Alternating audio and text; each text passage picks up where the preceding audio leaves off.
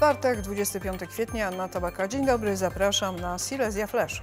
Dopiero co zakończyły się wybory samorządowe, już ruszyła giełda nazwisk w wyborach do Europarlamentu. I choć to dopiero początek kampanii, to już nie brakuje niespodzianek.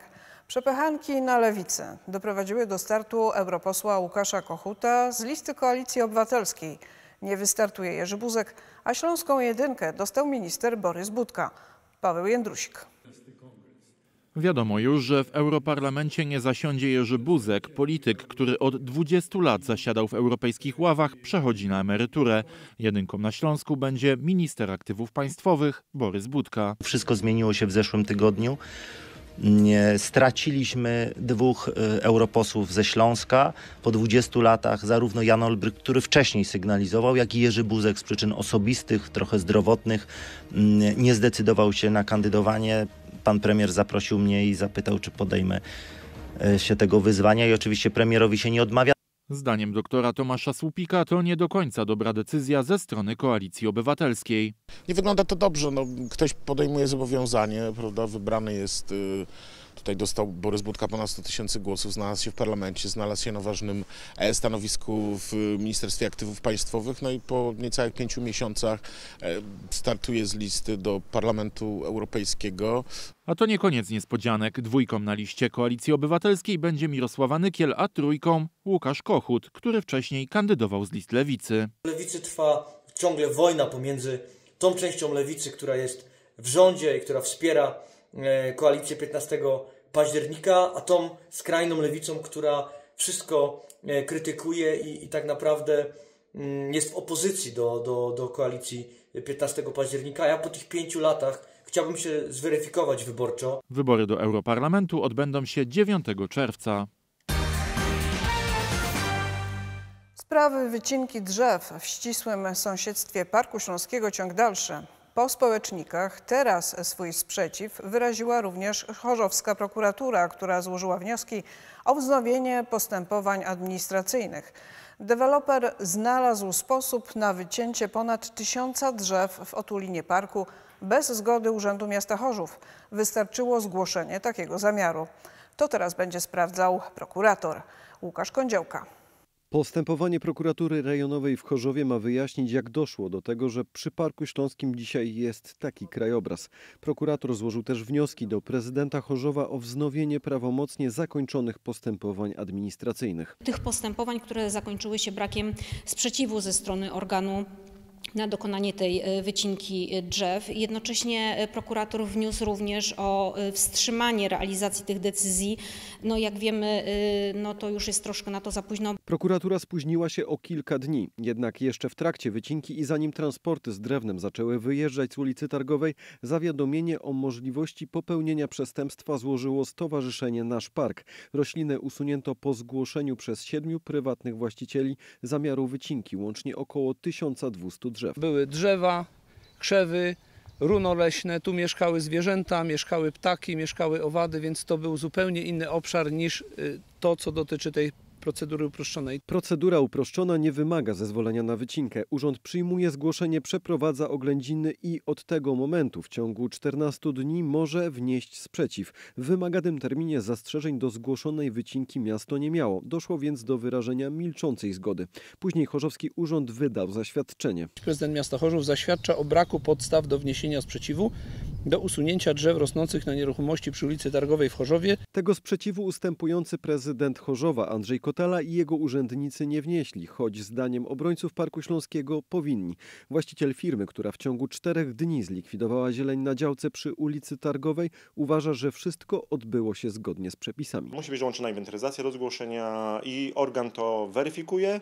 Ma potem czas na wniesienie sprzeciwu zgodnie z ustawą i tak naprawdę nic tutaj skomplikowanego. To wszystko jest jasno, czytelnie, jednoznacznie opisane w ustawie o ochronie przyrody. O ile przepisy są jasne, o tyle działania urzędników nie. Prokuratura nie wyklucza też, że doszło do zatajenia planów prowadzenia działalności gospodarczej na tym terenie. W takim przypadku wycinka tylko poprzez zgłoszenie nie mogłaby zostać zrealizowana.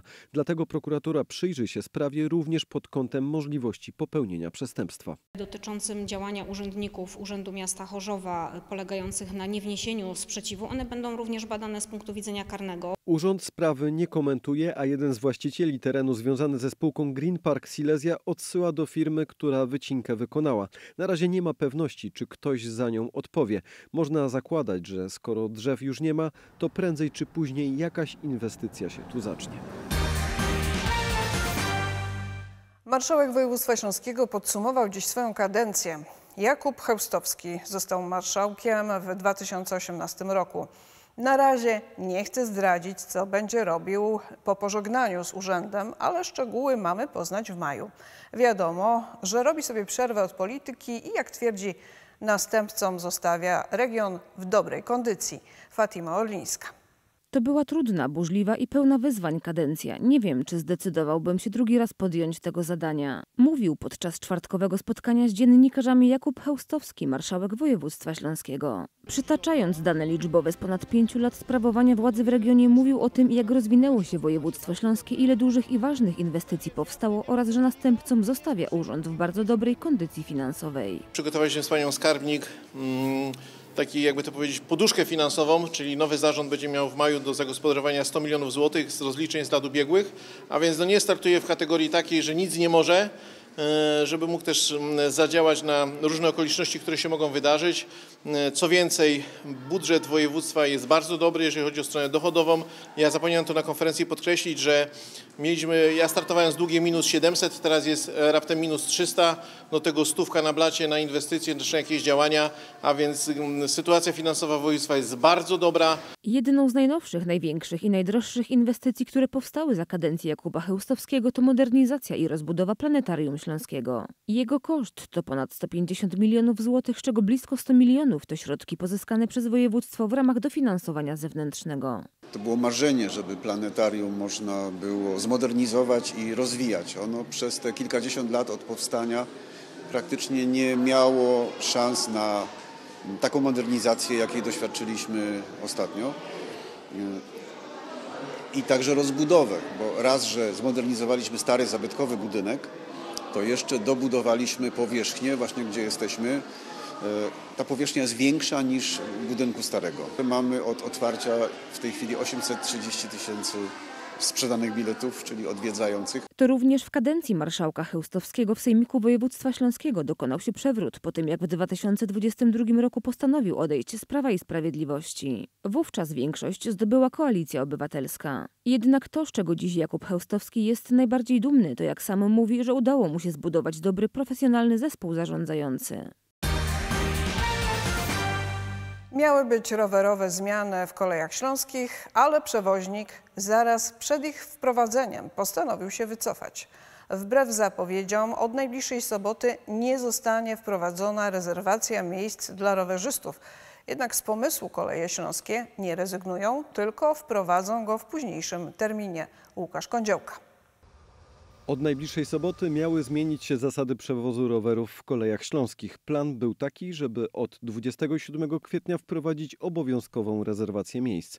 To zdaniem przewoźnika miało sprawić, że nikt nie zostanie już z rowerem na peronie. Jednak rowerzyści mieli zastrzeżenia. Różne są wypadki. Można mieć defekt roweru, można zmienić trasę i niekoniecznie trzeba wsiąść akurat w tym miejscu, które się zaplanowało tydzień temu, tak? Pogoda się zmienia, no, no jest, jest dużo tych sytuacji, więc to strasznie blokowało rowerzystów i, i mm, to nie był, nie był dobry pomysł. Rezerwacja miejsc w takich wypadkach oznaczałaby duże ograniczenia, praktycznie uniemożliwiałaby spontaniczne podróżowanie ze swoim rowerem. Zwłaszcza, że część pociągów kolei śląskich ma na przykład tylko cztery takie miejsca na rower. Dzisiaj przewoźnik poinformował, że zmiany wejdą w życie, ale nie przed majówką. System rezerwacji miał e, oferować gwarantowany przewóz roweru. E, Koleje Śląskie nie wycofują się z tego pomysłu, natomiast wdrożą ten pomysł po majówce. O terminie poinformujemy e, wkrótce. Jednak zmianie ulega cena za bilet na rower. Do tej pory było to 5 zł, a od soboty będzie 8 zł i 40 groszy. To stawka, jaka obowiązuje również u innych przewoźników. Kolejną nowością będzie pociąg z powiększoną strefą rowerową, który w sobotę rano po raz pierwszy wyjedzie z Katowic do Wisły Głębce. Tutaj się nic nie zmienia. 27 kwietnia rusza Welocug. E, Tym Welocugiem będzie można przewieźć aż 36 rowerów. Na razie nie wiadomo, wiadomo, kiedy ostatecznie koleje śląskie wprowadzą zmiany, ale rowerzyści mają mieć możliwość zakupu biletu na dwa tygodnie przed tym terminem. Chyba, że przewoźnik po raz kolejny zmieni zdanie. Zbliża się długa majówka. Okazja do wypadu za miasto, ale i w mieście nudzić się nie powinniśmy. Jeśli ktoś weźmie wolne 2 maja, to będzie odpoczywał aż 5 dni. Co zrobić z nadmiarem wolnego czasu, sprawdzał Paweł Jędrusik.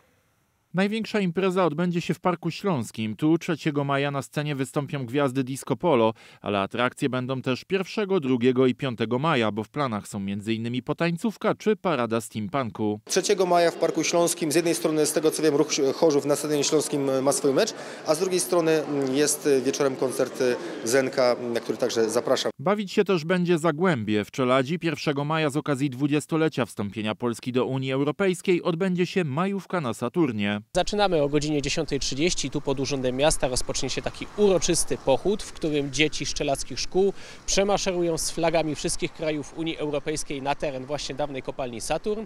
O godzinie 11.00 rozpoczyna się główna część imprezy. A w planach są m.in. seanse filmowe, koncerty, warsztaty Lego czy atrakcje dla dzieci. Z kolei w pobliskiej Dąbrowie Górniczej atrakcje na mieszkańców będą czekać już od piątku. W tym roku zaczynamy bardzo wcześnie, bo już w najbliższy piątek startujemy z festiwalem futraków w Fabryce Pełnej Życia.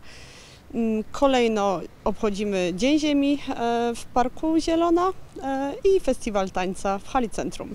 Atrakcje będą głównie na Pogori 3 i w Parku Zielona. Dla tych, którzy chcą jechać w góry, atrakcje przygotowało miasto Wisła. Rozpoczynamy 1 maja warsztatami kreatywnymi Rękoczyny po polsku. Tego dnia odbędzie się również spektakl teatralny dla najmłodszych na rynku, a dorosłym proponujemy wieczór ze stand-upem w wykonaniu Arkadiusza Jaksy Jakrzewicza. W kolejnych dniach m.in. pokazy strażackie czy wycieczki piesze. Taki był czwartek. W imieniu Grzegorza Żądło zapraszam jutro. Do zobaczenia.